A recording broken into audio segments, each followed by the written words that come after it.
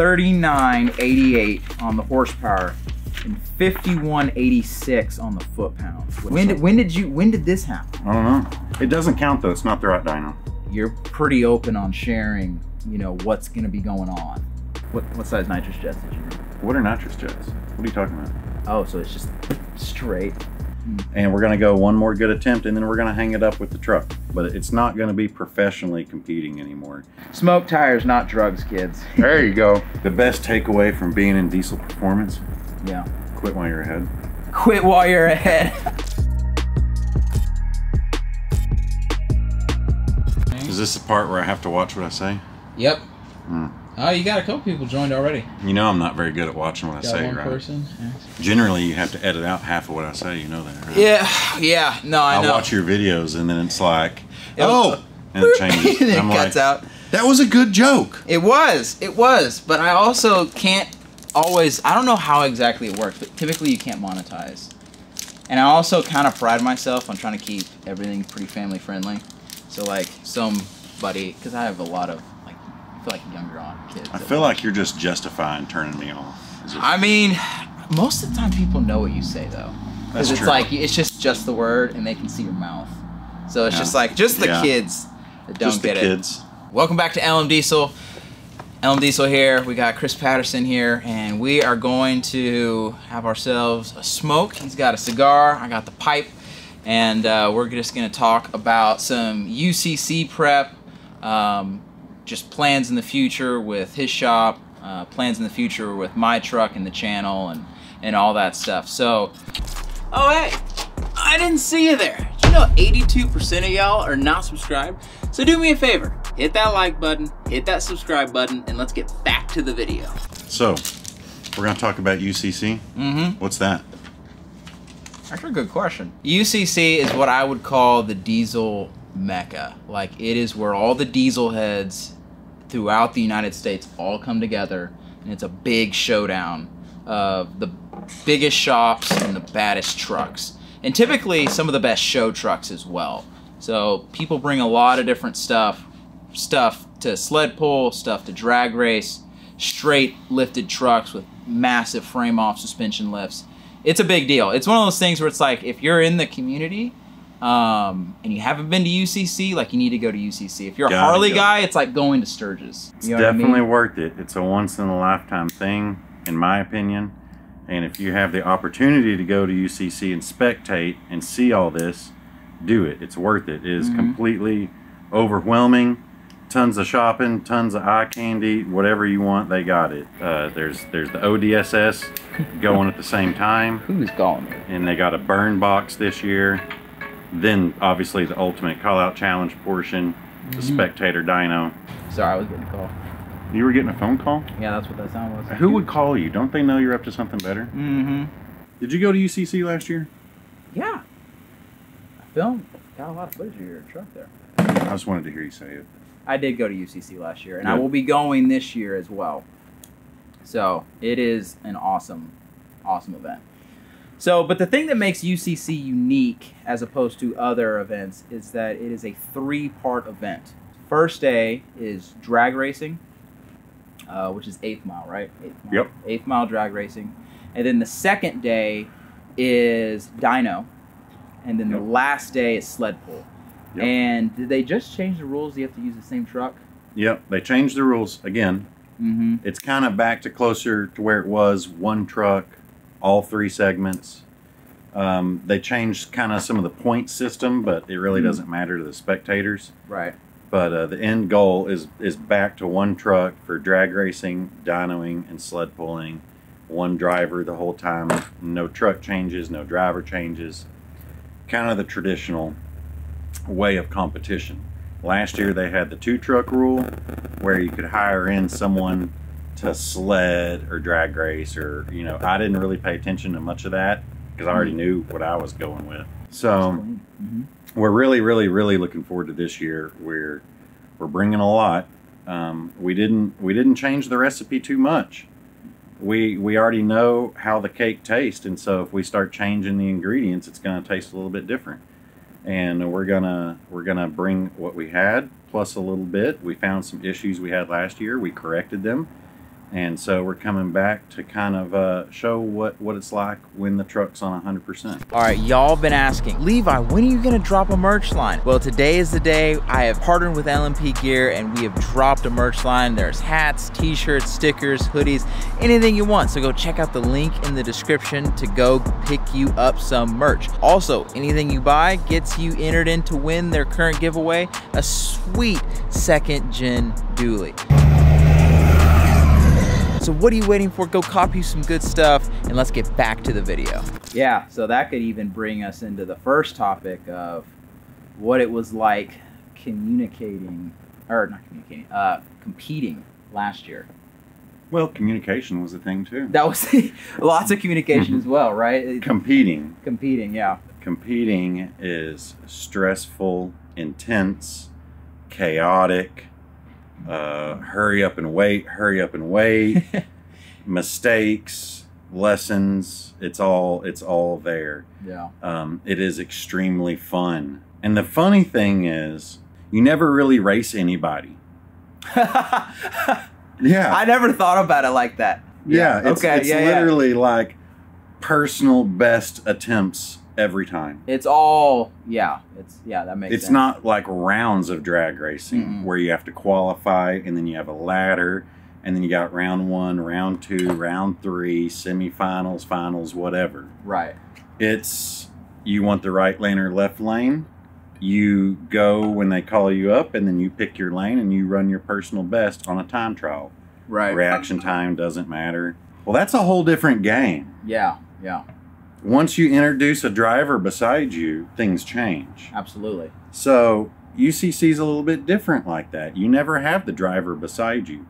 So you dyno by yourself. You got 30 minutes to do whatever whatever you want. Right. You sled by yourself. You get one pull and then you get a reset if you don't make it past 75 feet. And then drag racing, you get unlimited attempts during the uh, opportunities to go down the track, and you're all by yourself. So you can stage. The reaction time doesn't matter. You can stage however you want. You can take, you know, like probably 30 seconds or a minute to spool up all those chargers or whatever the heck you're doing. so you you can take your time, and that's that's a little bit different, or that's a lot different than drag racing. Right. But I also So- imagine that it makes it more, you know, makes it more. Uh, there's a lot more strategy involved with it too, because you know, with drag racing, I would imagine that sometimes you're like, hey, I just need to beat this guy to continue forward. Yeah. But if every pass is like, hey, I'm trying to push the limit, like go faster and faster, you're really pushing your equipment as hard as you can, like every time. yeah. Which then makes it even more unique because then it also has to last for three days. Yeah. yeah. Or you bring three of everything or more, like a lot of these guys do. oh, sorry. I was guilty. I I- brought much of everything because oh, we needed it. There are three Oh, blocks. those? Th- yeah. oh yeah, those- don't worry about that. It's the transmissions. Yeah, the The transmissions. We got Yeah. plenty of those. I think we fixed a lot of that though. With the tranny? Yeah, you know, we went to All Truck Challenge 2022 in Delaware. Yeah. And one transmission for the whole event. It was really good. Dude, never happened in my life. Yeah. I mean, I, I blew up my motor. I did it. It didn't blow up. I blew it up. Yeah. Yeah. Well, But- that was. That was we'll a bonehead we'll, move. We'll have to. We'll get to that. We'll have to get to that as But well. yeah, multiple, multiple, multiple parts, lots and lots and lots of parts. I mean, you're talking showing up to an event with three motors, three trains, three transfer cases, a dozen turbos, a set of pumps, a set of sticks, a couple converters, a drive shaft, couple ring and pinion sets. Like, what Everything. else? A dozen nitrous bottles. Yeah. Like, it, it's insane. I mean, and then It's of course, if you're much. sled pulling, right, then you're. Some Yeah. guys will do if you are Yeah. right. You are sled pulling, We show up, we got 20 tires and wheels. right? We literally have like four sets of tires and wheels, four or five. I don't, I don't forget. It's a lot. It's Right. more than what you can fit in one bed of a truck. right. It's about 15 feet on a gooseneck trailer. It's crazy. they just stack up like a pyramid. just all those tires, and Get then some guys even tires. they'll change out their whole suspension setup for UCC for each like maybe not for each event, but like Yeah. definitely between drag racing Yep. and the sled pull. Yep. So UCC, as we've been talking about here, this is the big event, and this is an especially big event for Chris this year because you want to share? Or should I? I don't know. What is it? You're scaring me. Not really. I'm not scared. you can say whatever you want. Oh, dude. Well, it, it's an especially big event for Chris because it'll be his second time coming. So dialing, Yeah. everything will be more dialed in, which is huge. yeah. But also, this will be one of the last big events that you Mhm. compete in. Yep, this is probably going to be it. You know, uh, me and Green, en- Green Envy, we've been through a lot of stuff. We've been through hundreds of thousands of dollars each year. And I have now achieved all the goals I care to achieve with this truck. So I'm to the point now where I think it's time to, to do it one more good one more good round. We have 100% of everything now and we're going to go one more good attempt and then we're going to hang it up with the truck it's still going to make big power it's still going to be green it's still going to drive around but it's not going to be professionally competing anymore Mm. this is something where i want my truck back i want my heated seats back in it uh, race week is a blast air conditioner heater cruise control like i'm kind of thinking street oriented like what Yeah. if we went to dinner tonight in it exactly. could you think of anything we could do in that truck in this town it would be fun it would be fun, and it's it's building the ultimate street setup is a lot of guys' dreams, you know, because Yep. it's like Yep. the fun part about the ultimate street setup is that you get to drive it every day and you Mhm. get to enjoy it, you know. Mhm. So I have definitely pushed to do that with my truck. While there's definitely some things I could change, it's pretty ultimate streets setup in my opinion, and could go even further. It basically came off the Mega Cab. So Basically. absolutely, yeah. ultimate I mean, street setup. It's the old compound kit, and then your 100 percent, hundred percent. hundred percent flux injectors, Yeah. a couple good pumps. I mean, she rips. She All you need rips. now is a full manual and a built motor, and you know, Yeah. et cetera, et cetera. All you need is this extra long list, It's and then it'll really rip. hey, you got a job, right? I do have a job. And you get paid. I do get paid. Those are two wonderful things. and they uh, and, and they you know it goes to fun stuff like It does go to fun stuff. So yeah, but uh, back to UCC. So since this is going to be your final event, I know you had shared with me a little bit offline that you're pretty open on sharing. You know what's going to be going on, uh, what's going on in the engine, what's going on in the motor.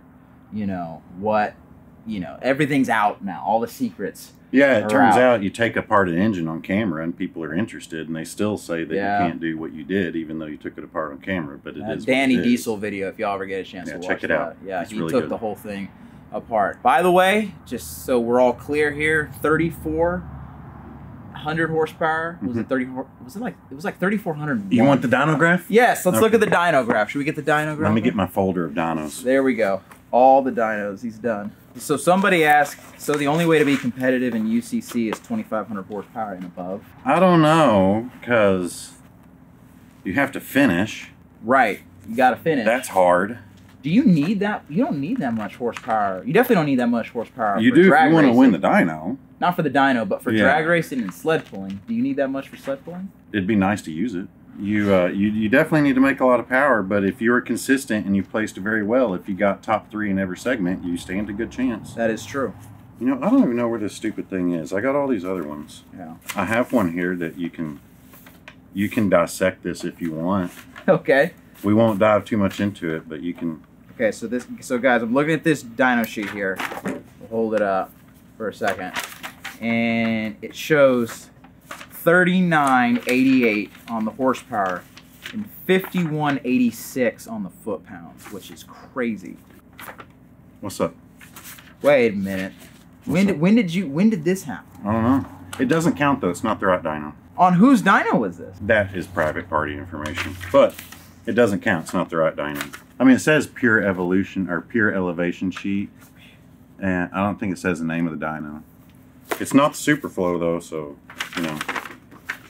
Um, Dude, I don't even know where this freaking 3400 horsepower dyno one is. I've got a lot of 25s, 25s, 26s, 28s. Wait, I don't even know where when this did this thing is. happen? Is this day correct? No way. But it's not the Superflow. It's not the Superflow. So that brings up some more unique uh, controversy. Is that you're bringing everybody in from all over the country, right? Which means that there are varying opinions on what is actually legit, Yep. right? Yep. You know, so there's some guys that say, oh, well, you know, it's got to be this dyno, and some guys that say it's got to be that dyno, and it's got to be maybe at this elevate elevation, and you can't use this, or you can use that, or there's a long list of do's and don'ts. But the 3,400 horsepower, the reason why that was such a big deal was because it was on the Superflow. Yeah, And that Superflow dyno is kind of the dyno that everyone respects. it's the standard. It's the standard, if it's you will. it's the the equalizer. It's like the the you have to do it on that. If you don't do it on that, then it just it really doesn't even count, and you can't even consider anything that happens on any other dyno apparently. But then it, couldn't you say the same thing about a drag strip? I mean, Different elevations, different regions, different track prep. You know, different like crack. Yeah, I Yeah. mean, different couldn't you say the same thing there too? I mean, I feel like no matter where you compete, there's going to be differences. It's Yeah. really a matter of do you know your vehicle and can you come up and can you perform to the best of your ability? Yeah, it kind of goes back to that. Like you have to finish it and you have to balance it. And you at UCC, you're going out there and every pass down the track is supposed to be your best pass. Right. But at the same time, if you reach for the stars and you fall short, you don't ever get the reward. So you have Yeah. to go out there and you have to get something that might be a little bit safer.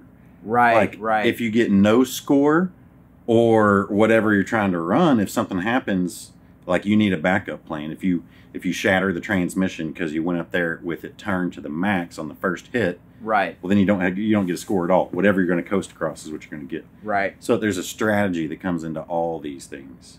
So, um, we're talking about the basically the same motor setup hmm from last year. For y'all that don't know, that is a Hamilton competition block Yep. filled Yep. D&J rod Yep. stock six seven uh, Cummins piston. Yep. People don't believe it, but it's true. And that is two Exergy 14 mil pumps, Yep.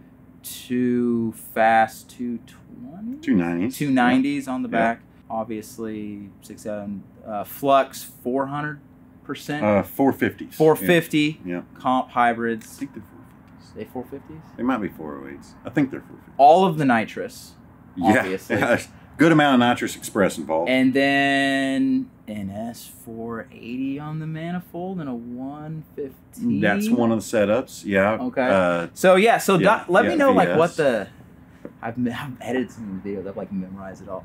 So let me know what what are going to be some different things that you're bringing this year. So last year you had triples. What is the biggest thing I'm bringing that's different is 155 cubic millimeters at wide open throttle. okay?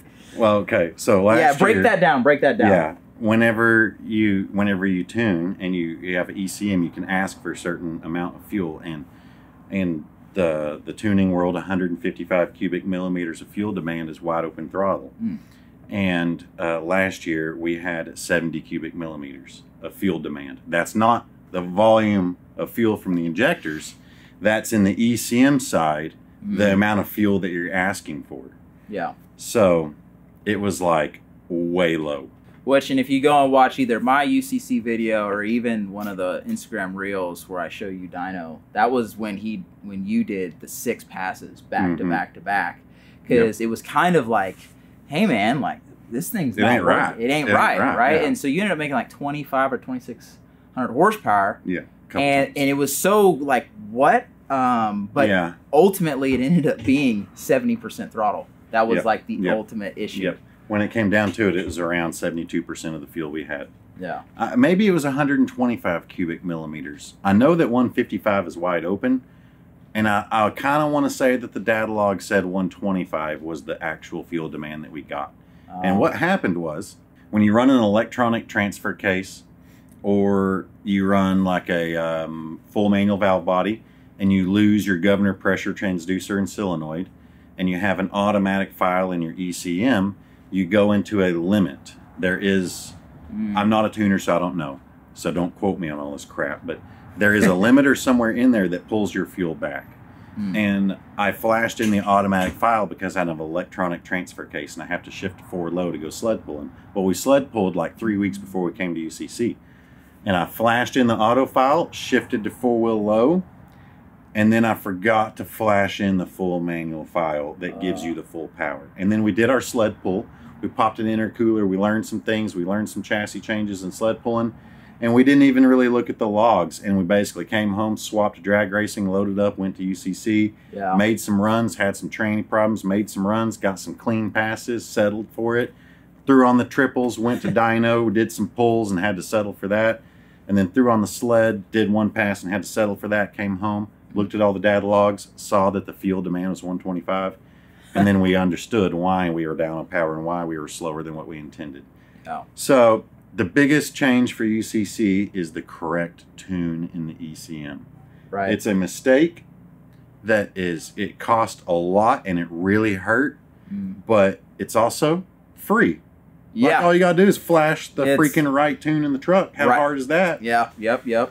So uh, we cor- we corrected that, and then we went to race week and had more training problems, and then we went to Salt Lake City. No, yes, Salt Lake City Right. at the Edge event, Mm-hmm. and and that's where we did the 3401. That's where you laid it down. Yep. So last year you had triples. Uh-huh. We're doing compounds hmm this year. I don't You think you'll ever see triples on that truck again. The triples look really cool, and Mm-hmm. it's kind of like a novelty thing, maybe a little bit. It's like they make power, but they don't really. The best way to describe a triple setup is like a light switch. It's either on or off.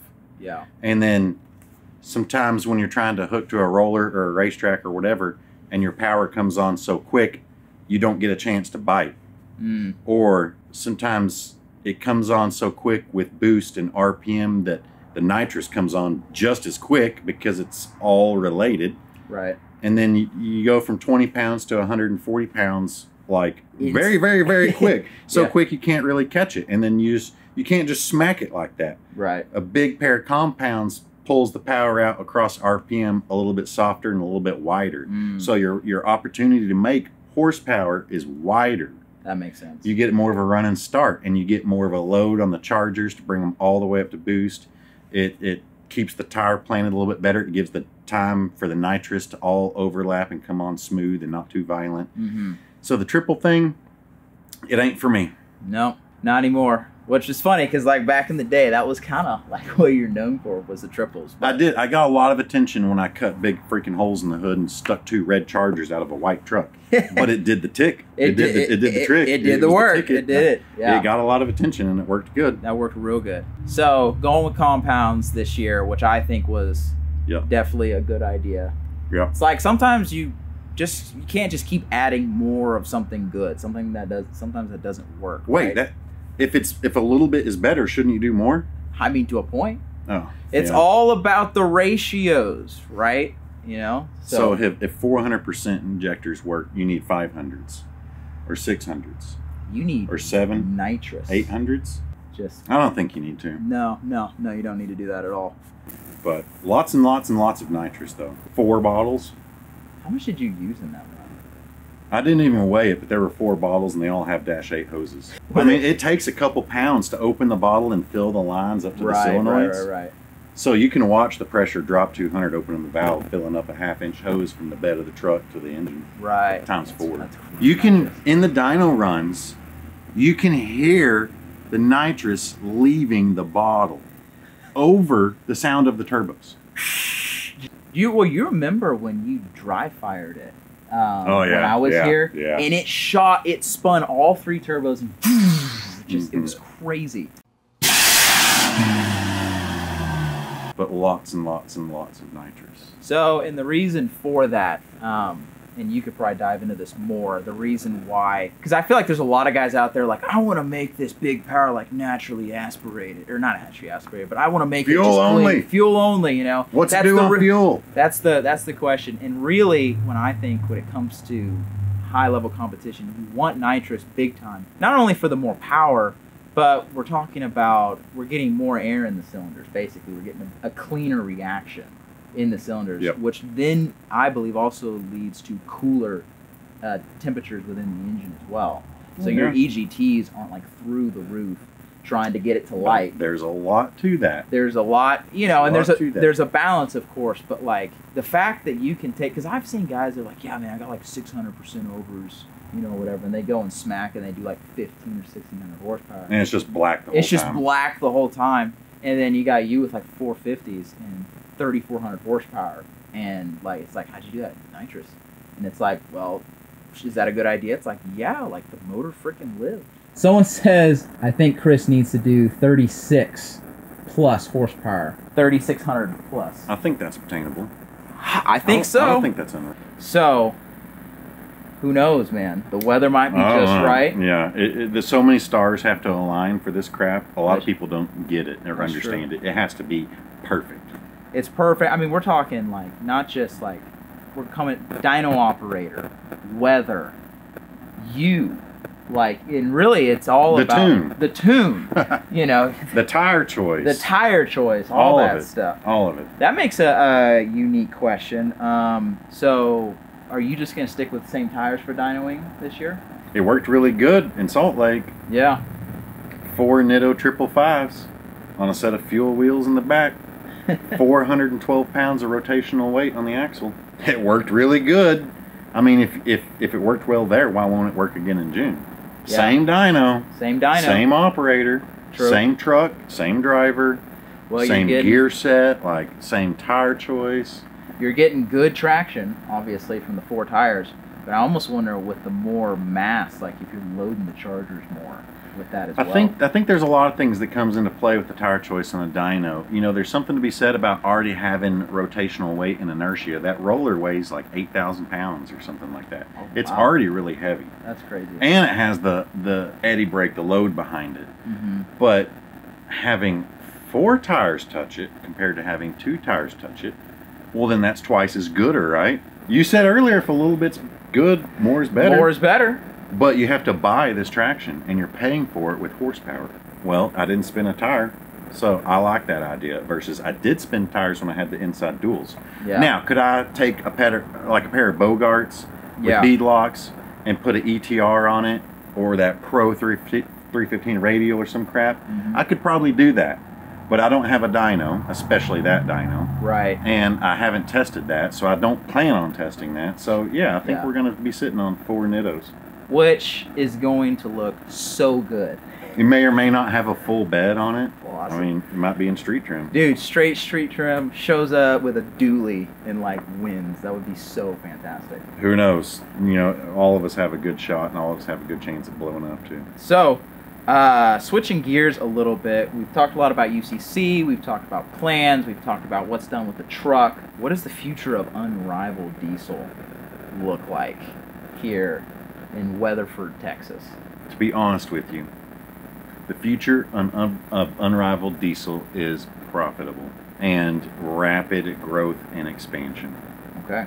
Every time I look around, I need more people, parts, equipment, room, everything. That's a lot of the reason why I'm stepping back on the green truck is I'm a little bit more concerned about my next five years of my life as compared to my previous five years. Mm, And I've done everything I ever wanted to do plus so much more. absolutely. It's like when is enough enough? Normally enough is enough when the motor blows up or the turbos explode or you just can't hook up or right you just can't keep the gears in it for sled pulling or whatever. That's well, it's kind of like okay, I think I think we have enough here that right. At what point is it like all right, I'm kind of done and over. I'm ready to change my life and change my future. Right. So, future for Unrivaled Diesel is that in itself to not really compete, but more so be a leader and a mentor and a guide and a help to all the friends and family and customers that have supported me this far. And I'm hoping to take them into the future and make their goals happen. Mm. I have a lot of friends, clients, it's all the same thing. They all want to go do XYZ, and I want to help them do it. So that, it. that's where it's at. You're the guy. You I'm going to try to be. Well, and that also brings me to kind of an idea that I was going to run by you, uh, and I think maybe you're, you're already working towards it anyway. But honestly, I would like to make the DFW area like kind of like more of a diesel hub, if that makes sense. Yeah. You know what I mean? It's like, hey, if you like, say you're like some guy and you have like a truck or whatever, and you're trying to go drag racing, or maybe you're trying to make like a big lifted truck or whatever. It's mm-hmm. like, where do I go? You go to Dallas Fort Worth, and that's Texas where all the best. state. That's where all the best shops are. That's where all. That's where the community is. It's like the center. It's like that's where I, I'd love to build more of like a diesel community. Maybe even get to a point where we're putting on our own shows and own and our own meets, you know, and just trying to build kind of like organically build like a community. You know what I mean? Yeah. The unrivaled community. How about that? Well, I mean, just in general, overall, the diesel performance industry needs as much help and support as it can get. absolutely. We need to start helping one another instead of hurting one another and chopping everybody down. So the only way I know to do these things is to take what I've learned and apply it to people that want to go do the same stupid crap I've done. so it's like I, I learned the lessons coming up of what a motor can take and can't take and how to fix things and the engine, the transmission, transfer case, turbos, chassis, four link, whatever, right? Like right. I'm just I'm ready to start helping others and making other people get their goals and seeing them enjoy fruits of their labors and their investments because this is really expensive. This is a strain on a job, a marriage, a bank account, a business, a family. Like this lifestyle is almost like a drug addict. I feel like it's, Yeah. there the highs are so high and the lows are so low you just have to wonder like at what point do you need to change something and where are you going to go if you don't change what you're doing and do you like where it's going do you want more of it and Yeah. how do you how do you affect that the the things you have to understand is what you can and cannot change and how to how to accept that That is so true. Somebody asks uh, the best takeaway from, and I assume they kind of mean like maybe we'll, we'll just say competing and being in this industry. What would you say your your biggest or best takeaway? the best takeaway from being in diesel performance Yeah. quit while you're ahead Quit while you're ahead. Yeah, it, it, no, that's not. That's a joke. the best thing I could say about this industry and playing and, and, and horsepower would probably be pick a goal that's reasonable and obtainable and pick who you want to help you get that goal and make sure they have the means to get you there. Mm. This is not something where you can take pieces and bits of information from everybody and com- like throw it all together in your own build yeah. you you have to kind of listen to a person and listen to their advice and take it for, for what it is if you just go talk to this guy about your piston go talk to this guy about injector this guy about turbo and never include the tuner like that ain't fair Yeah. so you have to have a well-rounded package and you have to have someone that can that has the knowledge and experience to give you what you want if you can't get it yourself There you go. Here's another great question. Uh, why green on the dually? We wrapped that truck green. I ordered, I guess you call it like a swatch book or whatever. It's a book that shows all the different shades that uh, 3M and Avery is the wrap companies they offered. Mm. So I have like 400 shades of all this crap. Took them all out in the sun, spread them out, and we picked like our top 15 or 20. And I wanted something that no one else had done. I don't like following in footsteps. Yeah. I like chopping my own road. So I wanted something that set out from the pack. But the cool part is I wanted something that the little kids and the younger, you know, the the the kids of the sport and the boys coming up and the girls coming up that want to be in the game and I wanted something they would remember and like stick out like, "Oh, did you see that green truck? Oh, that's the green and Yeah. that that color green. It looked like a bass boat on wheels." yeah. When I held that color up, it was between a red, a blue, and a green, and a flat orange, and a Oh, chrome purple. But I couldn't afford the chrome wrap. It was like six grand for just the wrap material Oh to go chrome. gosh. And that green stuck out so much. Yeah. I was like, "That's it." I've never seen a bright green glitter truck. I think it was such a good. Uh, that's such a good choice too. I saw uh, somebody comment or just post about this earlier. Like, you got to remember that like when you're doing all this, a lot of the people that are watching are like kids and young people, Yep, right? yep. And they're sitting there and they're they they want to do it too. and They want to see something crazy and they want to see stuff that's memorable. And so, you know, having something that's kind of more of just an obnoxious color Obnoxious Makes bright. Yep. makes Like all this huge thing, and it's it's bad enough that we're stupid enough to race what we're racing. Quad cab, long bed, dual rear tire truck. Let's Yeah. be for real yeah, here. yeah, yeah. It, We picked like the biggest freaking thing it, it was a boat. race. You you race. You're racing. I mean, it boat. started at 8,200 pounds. Yeah. Whenever we broke in the nines, it was 999 at 143 with triples at 7,810 pounds at 2,040 horsepower. Three kits of nitrous, flux 300 300% overs, couple 400s that we had patched together. We had patched together these these 400s. I mean, they were there was about five different turbo manufacturers all bolted together right here. And uh, and the thing did work, but it was 7,800 pounds. Yeah, yeah, 2,000 horsepower to run 999. I mean, the mile per hour is good. 143 is good. yeah.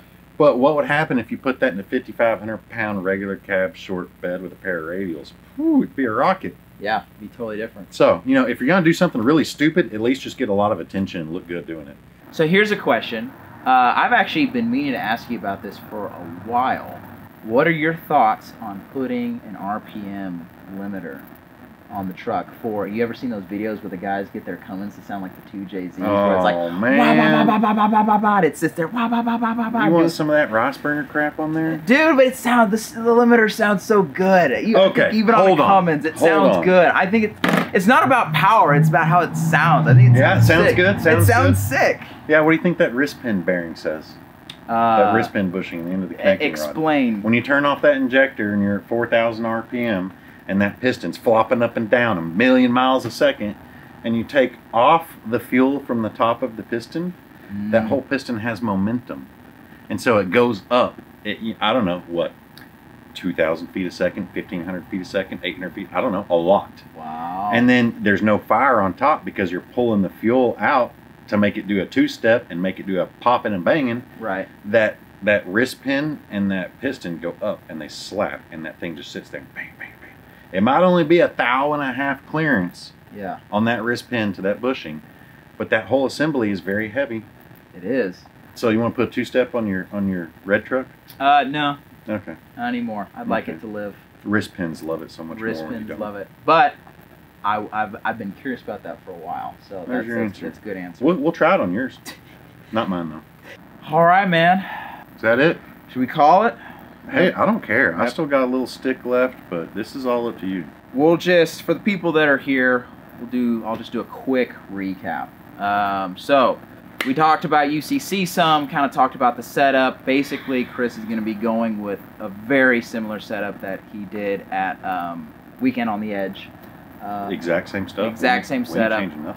So he's going to be doing UCC with that setup this year, and he is going to. This will be his last time competing at UCC, or at least at this really high level. He's taking kind of a step back from that. We talked about all the different trucks and the builds and go and all that stuff going on. I definitely encourage y'all to check out Danny Diesel's channel because you'll definitely see some more info along all of this. There's Uh, little pieces of bread dropped everywhere. there's little pieces of yeah, that's a good way. To put And it. I don't have anything to hide. I've shown everybody everything. Someone says do this more often. We should do this more often. We should do this more often. But yeah, so y'all go check that out, and I think we're gonna clock out here. So we'll see y'all. Toodles. Peace.